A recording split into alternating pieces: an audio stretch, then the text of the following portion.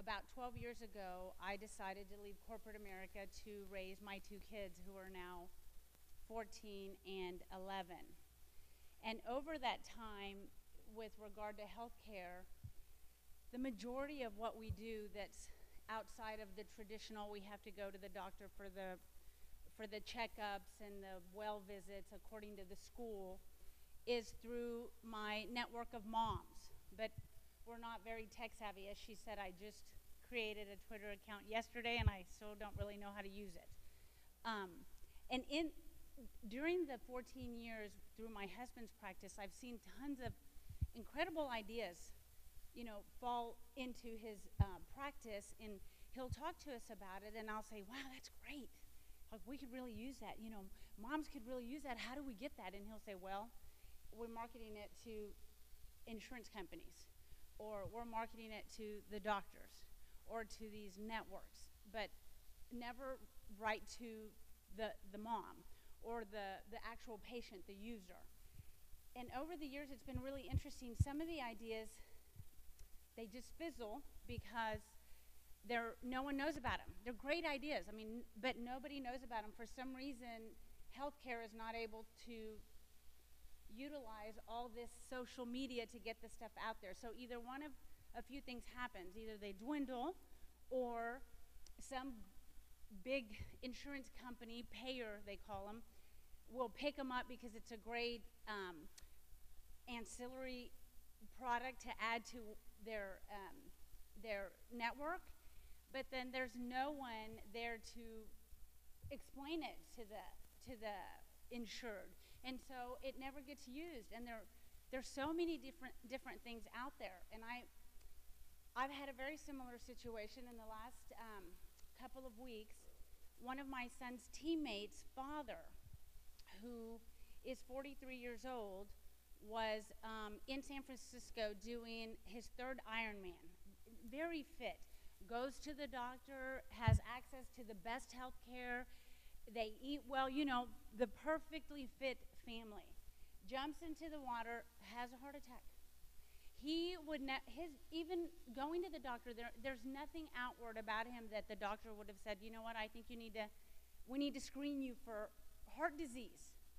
And so then Jeff explained, um, David talked to Jeff about this idea and how they were going to talk about women's health, particularly heart disease, which of course I went on immediately and, and Googled and found out that it affects women as much as, as men.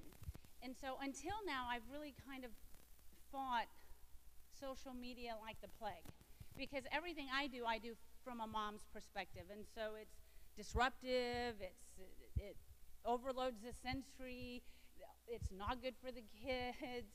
Um, I don't have time. I mean, there's just a million reasons not to do it.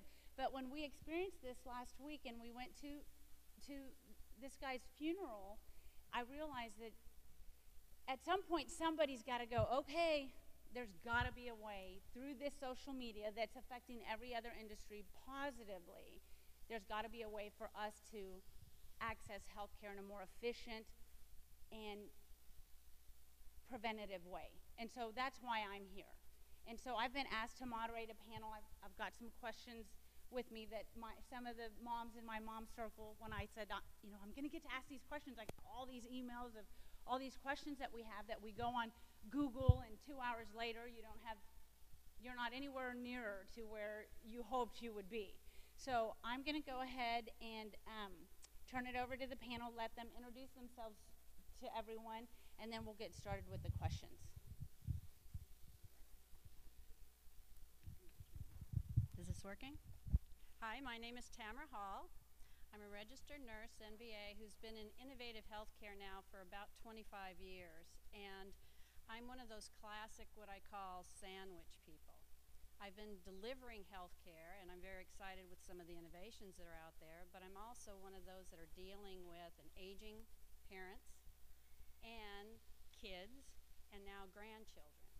And one of the biggest things that I find I get frustrated with is there's a lot of great information out there, but getting access, once you find the information or you know what it is that you feel is best for you or one of your loved ones, how do you actually make it happen in a way that's efficient effective, and can work around a very busy schedule. And then add to that.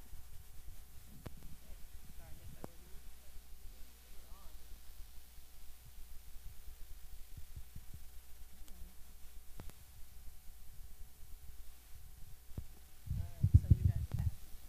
Okay. Um, and one of the very, uh, let's see, where was I here? Um, yeah, accessing information. But, and, but it, as a self-owned business, you're going to find that there's a lot of new and innovative things that are coming down the pike. Everything from the type of health plans that are going to be made available to people to the type of services that fit with a very busy and hectic life. And I'm very honored to be surrounded by such great, wonderful, innovative people. Yes, I am a new twit. Um, I, I actually like that term. And, um, and hopefully I'll be tweeting with a lot of you. Uh, thank you for inviting me. I'm David Albert. I'm actually an Oklahoman.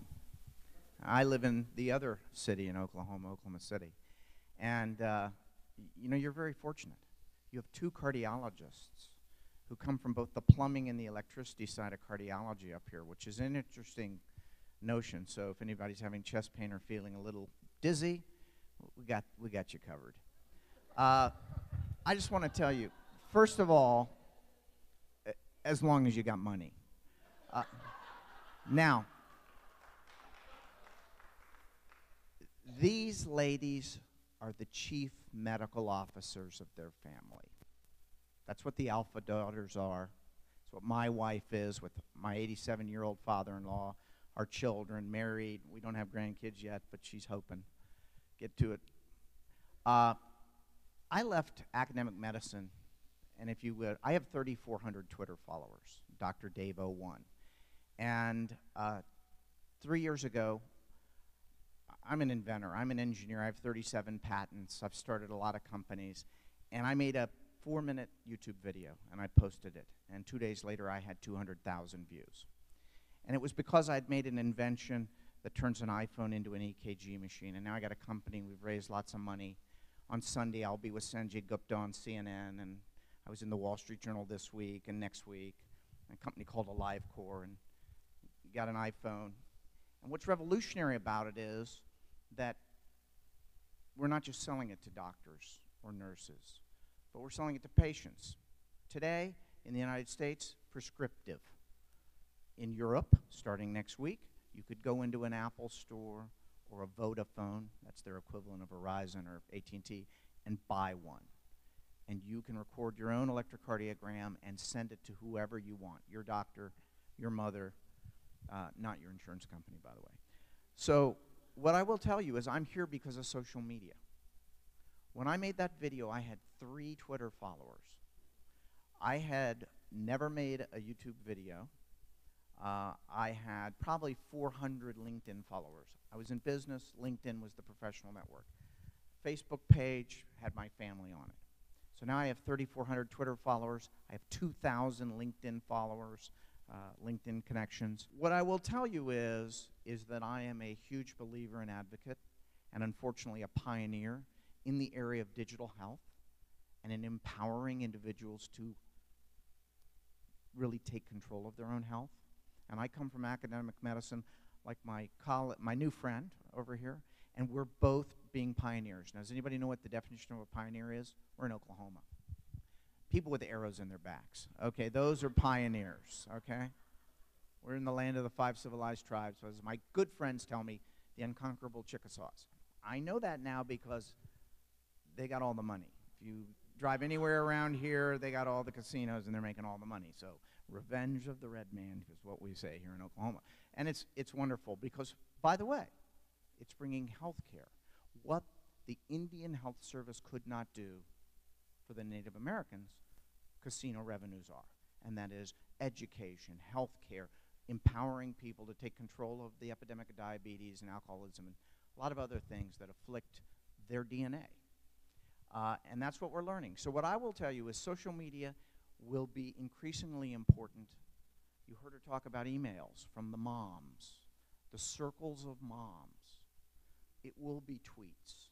It will be Facebook postings. I heard about this story. My company's headquarters, I live in Oklahoma City, my company's in San Francisco, and I heard about that young man. I call him 43 is a young man to me, I'm 58. But that was a tragedy. The good news is, and there's very little good news out of that, is that the word of that tragedy spread, and maybe somebody was stimulated, like your brother, to go seek screening. Now, what I'll tell you is people know about my device because probably the world's most famous cardiologist is a guy named Eric Topol. He was for 10 years the head of cardiology at the Cleveland Clinic, you know, U.S. News and World Report number one cardiology center in the world. And he was on an airplane last year and he diagnosed a person with my device having a heart attack. Landed the plane, guy got a stent, saved his life. And he was the keynoter at what's called HIMSS, the big information healthcare meeting here last month. And as he was heading back, two hours after he gave his keynote, to back to San Diego, a woman was in distress and he diagnosed her on a plane as having atrial fibrillation. And as soon as he landed, he tweeted it, including her EKG. Didn't use her name, so it was HIPAA compliant. But that was the spread of social media. I don't pay him a dime. I've never given him a money, he's never asked for it. But he believes too that patients must become empowered, and social media will be one of the important ways that we communicate with each other inside our circle of moms, inside our circle of friends, inside the same people who have the same problems. And so uh, I hope all of you will take that message back to your own families, be you the chief medical officer or whatever.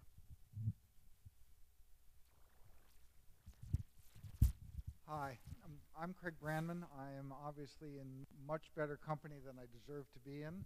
Uh, my wife reminded me of that when I told her I was coming over here to do this. It was her colleague that Dr. Topol made this um, discovery on on the way back from HIMSS. And when I told my wife that I was going to be on a panel with the uh, other cardiologists that developed this device, she said, You need to talk as little as possible so that you can keep a secret you are in over your head. But with that said, um, I am one of the co-founders. I'm a cardiologist. I don't practice anymore. Um, I'm one of the co-founders of StepOne Health.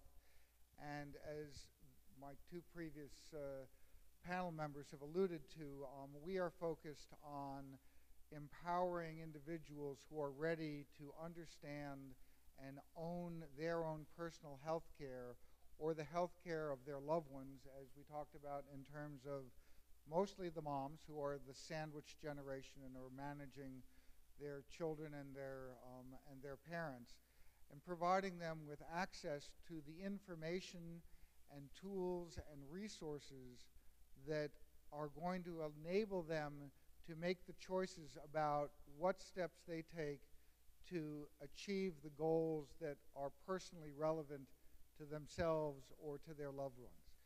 Um, and we start that by basically giving them access to getting lab work, their cholesterol values, their blood sugar values, whatever test they think is going to be helpful to expand their understanding of their health care without having to go to their doctors first. Um, there's no reason for it. They don't need to go to their doctors. There's additional time and expense associated with it. Um, once they get their lab values drawn at one of many draw centers across the country, we then deliver to them a personal health record. Um, that health record is owned by them. It's got information that is relevant to them or to whichever individual the tests were done on, and they can then take that information get answers to any questions they have by talking to one of our medical team members, and then they can be prepared, if necessary, to go in and see their doctors, ask questions, and then make decisions as necessary to see what the next steps are that they want to take in their own care. And what Dr. Albert will tell you and what any clinician will tell you is that the most difficult for anybody that is working with patients, consumers, however we want to refer to them, is it's relatively straightforward to figure out what someone needs to do. what the next steps ought to be. The real challenge is getting them to comply and be successful in moving forward and putting that plan um, into action.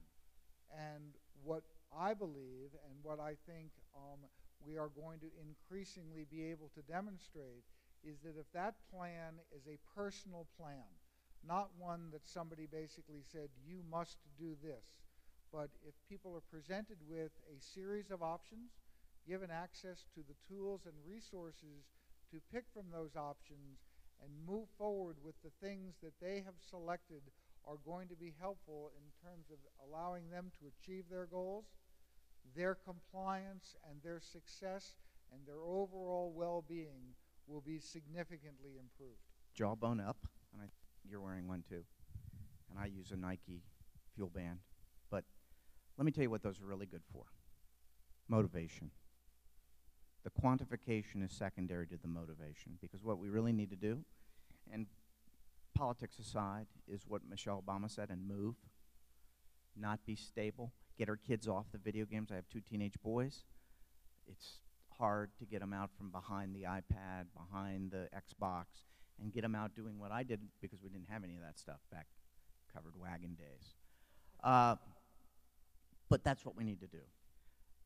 To your question earlier, there are some better sources, Mayo Clinic Online, a WebMD, that are not, uh, there are thousands of sources. Those two are decent, okay? They're, they're curated by people that know what they're doing. They understand the concept of liability, which is important. Um, nobody sues somebody who has no money, by the way. Uh, you only sue Willie Sutton's law. The doctor could quote that in medicine. We know it. Why do we do some test? Why do we do something? Willie Sutton, bank robber in the 30s. FBI caught him. Why did you rob banks? Because that's where the money is. Okay, so that's go to those trusted sources of the devices measure yes your weight your blood pressure. Yeah they're digital ones. They're ones that go to your iphone or your android.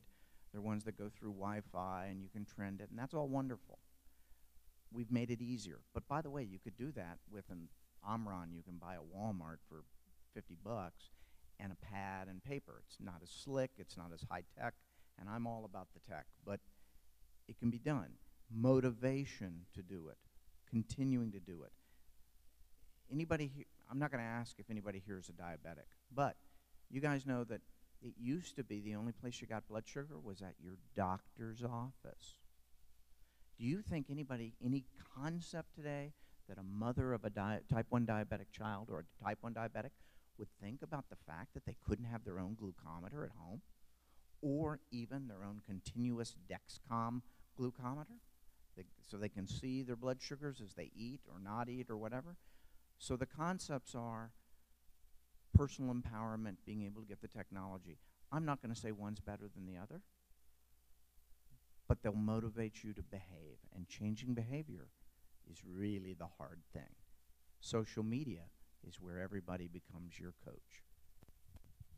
I have to just ditto one thing. He mentioned the motivation, and this looks like a very simple band, and I thought it was a little techy and didn't was okay. What is this gimmick? But I sit, unfortunately, at a computer a lot, and it's very easy for me to let four hours go by and not get up. And one of the simple devices that this band has is it'll vibrate. I can set it for every 45 minutes to vibrate if I've been inactive.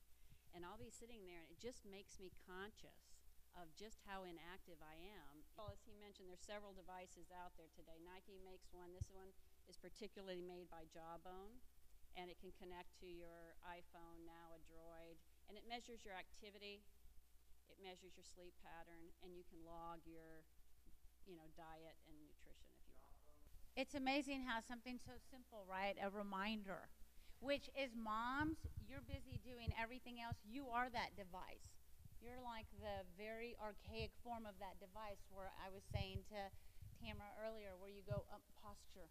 You know, you're the reminder for everyone else, don't chew with your mouth open. You know, those types of things. So it's something so simple, but really uh, amazingly necessary. Um, so my next question. That's right, and I will. Trust me. um, and we're, mind you, each other. I mean, I know you guys all have your own circles. You're each other's reminder. So, I mean, I get I get a text all the time from one mom or the other. Hey, do you need help after all with whatever? Or do you does Jeff, my husband, who's at home playing Mr. Mom right now, do we need to help Jeff with carpool? I mean that. Right? There's no. I have a great mom circle, yes, which is all part of this because my mom's circle and your mom's circle and your mom's circle, they need to come together. Because together, and I, this is what I said to Tamara earlier and to my husband, we are a powerful enough unit. We are the nucleus of all the little entities, and we, we should be able to affect and drive business and healthcare and force it into into being a better product for us. Um, so my next question is, so you guys have both spoken to some very simple things we can do, common sense things that you know we all know about, but for whatever reason life gets in the way and we don't do. But there's the there's the other side of stuff, like Sam's dad, my this gentleman that you spoke of, the tri- former triathlete. Um, what about what about not only being able to access, which you spoke to a little bit about, access these tests to um, give us a little bit of insight of what we might be at risk for? Not, it's great now we know we have somewhere we can go access them, but how do we know? How will we know which test is for what? So, you know, I have one mom that says, you know, I read this stuff on WebMD and I think I have a thyroid issue. Like, what test do I? What test do I need? So they go to the doctor. They talk to the doctor. The doctor doesn't look at the information you spent 20 minutes filling out and asks you a couple of questions and then sends you somewhere to the lab and you're going, "What was this my thyroid because I just read online that I have all these things that are similar to a thyroid issue." Where is there a way for us to know which tests we need to ask for or which steps we need to take to address our specific situation. So in this case, heart disease for Sam's dad, or for Tammy, my friend, with who's certain she has a thyroid issue. I mean, how, where can we go, and how can we access that information in in mom terms?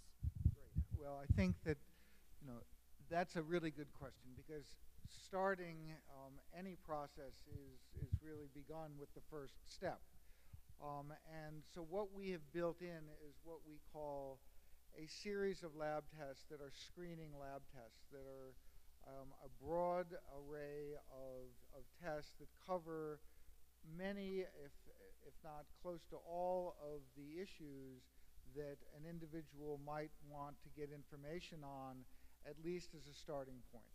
Um, this, you know, assumes that they are not dealing with any pre-existing medical condition that they know about. If they know that they're diabetic or they know that they've got some other health issues, then obviously there are different opportunities to get information about those specific conditions. But if they are, say, you know, a 40-year-old well mom um, that wants to basically understand um, if she is in fact got any risk factors that she may want to address. Um, one of the things that we were going to talk about today was the incidence of heart disease in women. Um, and the interesting thinking about that is that the disease, heart disease in women is the same disease in men as it is in women. The difference is, is the awareness amongst women as to the fact that they are just as much at risk to develop that disease as are their male counterparts. You know, most men know that they are at risk of developing heart disease. They know that there are the risk factors associated with it, and if they are, you know, if, if they are thinking about that, they know where they need to begin to adjust their lifestyle and um, and other choices to mitigate some of those risks.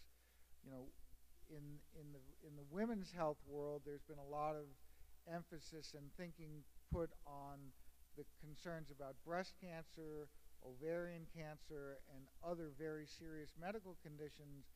But the media and until recently the healthcare community in general has been relatively silent about making women aware that they are as much at risk of developing heart disease as are their male counterparts.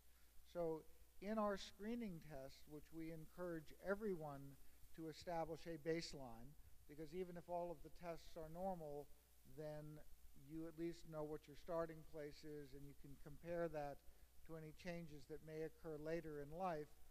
We can tell you if you have some of these early risk factors for the development of heart disease. And one of the stories that I like to share with people um, that came from our circle is um, a 27 year old woman who lives in Texas, who is thin and active.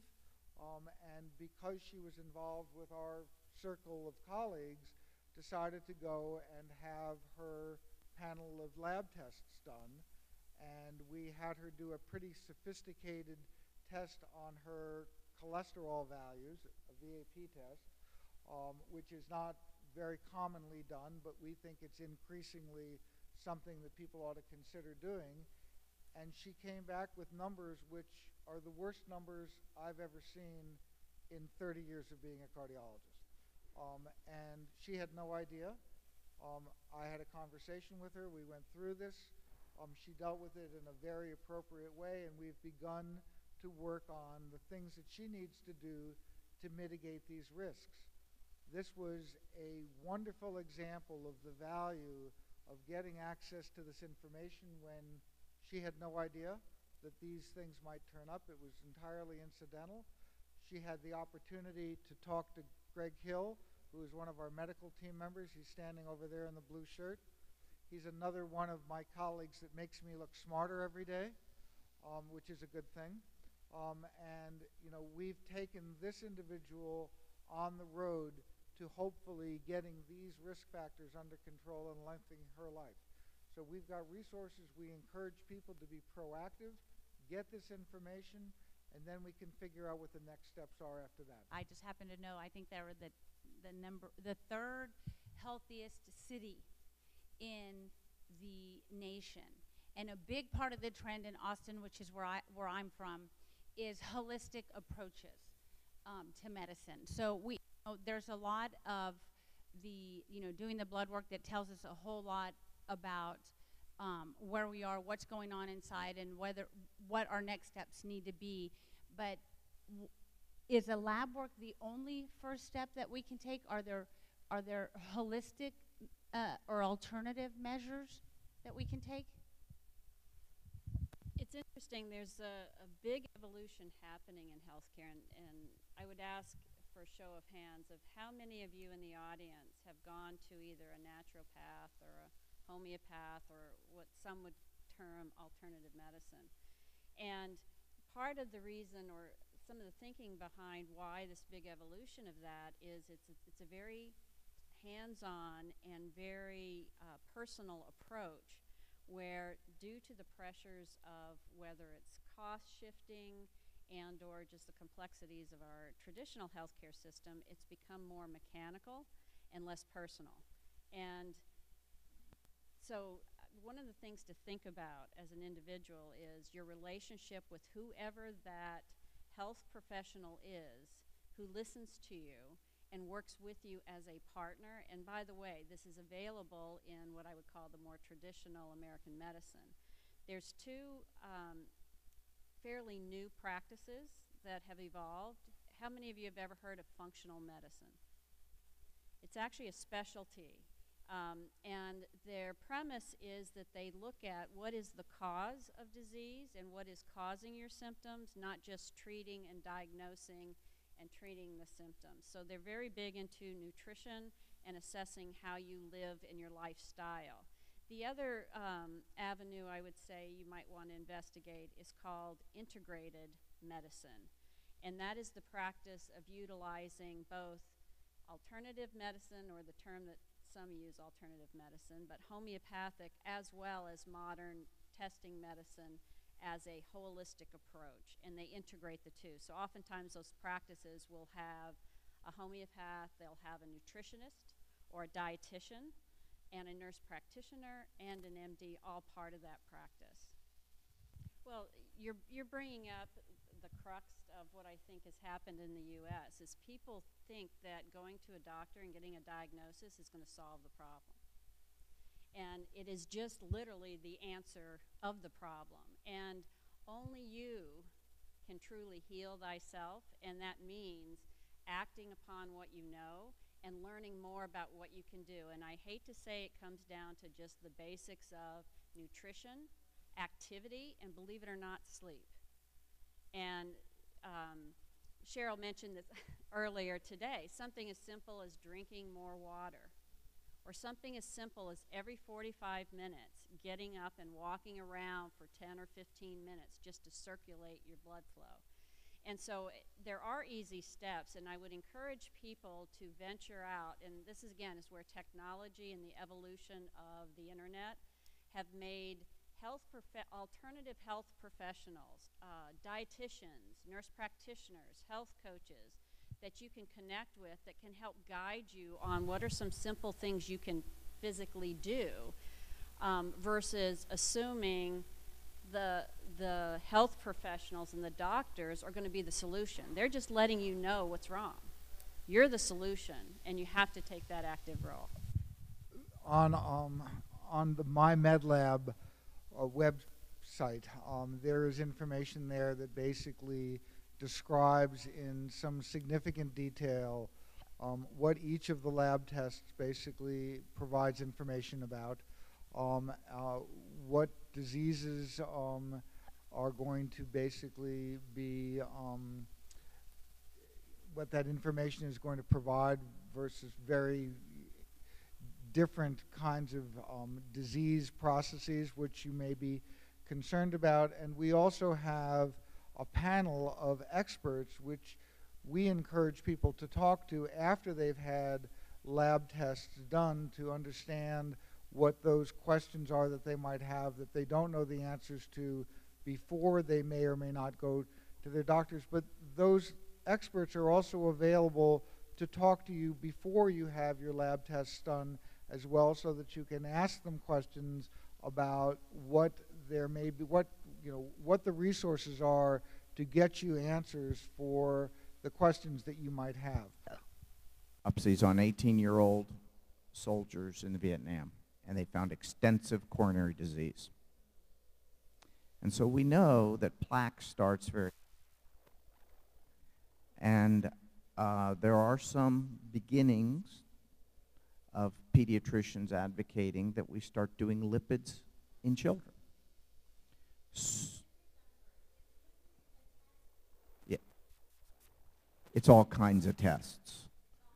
Cholesterol, triglycerides, HDL, LDL, and the ratio of those, the so-called good and bad cholesterols, blood pressure. I have a son, he's a medical student, so I'm going to disclose. He has hypertension. He started blood pressure medicine when he was 20 years old. Okay? He's really healthy. You saw him, you'd think nothing, right? We have a family history. I take blood pressure medicine. My dad took it. His 92 year old brother takes it. So family history is important. That's where, you know, the problem we face today is, and by the way, I was going to talk about homeopathy. I come from one of the most subspecialized areas of medicine, cardiac electrophysiology. We have all kinds of very expensive high-tech gizmos. But what we discovered that was just presented at the American College of Cardiology is that yoga is very effective at treating atrial fibrillation.